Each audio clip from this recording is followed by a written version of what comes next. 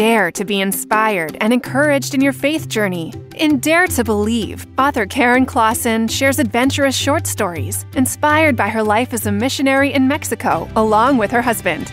These stories will make you laugh, cry, feel encouraged, build your faith, and remind you that God is no respecter of persons. He cares about you and wants you to receive the blessings of salvation.